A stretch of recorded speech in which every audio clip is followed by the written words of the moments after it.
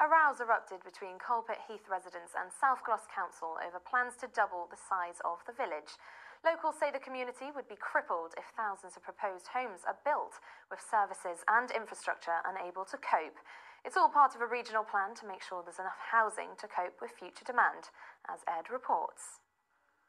A perfect path for a rainy day walk for locals here in Coalpit Heath. But now the consultation over the West's Joint Spatial Plan, or JSP, is over.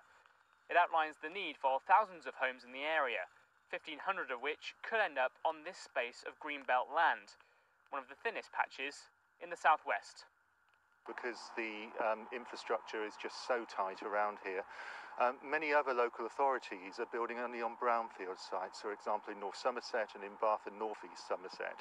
So why decide to concentrate all your houses in one place where the structure is going to be stressed, or you're going to destroy vital greenbelt? Just because the JSP includes all four local authorities doesn't mean each authority has cross party support for building on this site. With the proposals also at Yate, uh, some of which could be coming towards Coalpit Heath, uh, be, there'll be a big danger that uh, Heath and Yate will coalesce.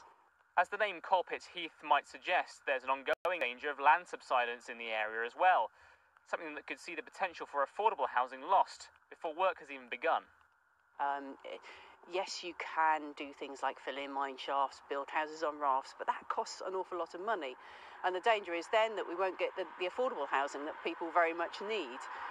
From structural to infrastructural, the location of the potential building site has also given rise to concerns over the way traffic and pressure on local amenities could impact the area. We've got sort of single track road here, um, although there's probably options to widen this. The four roads that then lead down onto the main Badminton Road are the width they are.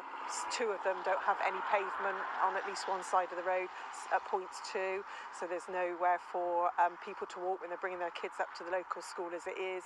South Gloucestershire Council have been responding to the concerns of locals and in a statement said, We understand that people want the green belt protected where possible. This was fed back through the first consultation phase, which closed in January 2016. However, this needs to be carefully balanced with providing homes in sustainable locations where there is currently good public transport or there is real opportunity to improve access by public transport. Tens of thousands of houses are needed in the West. Coalpit contribution is a drop in the ocean by comparison to the total. But as populations increase, fears over losing the identity of this area remain. I'm Ed for Made in Bristol TV. Now,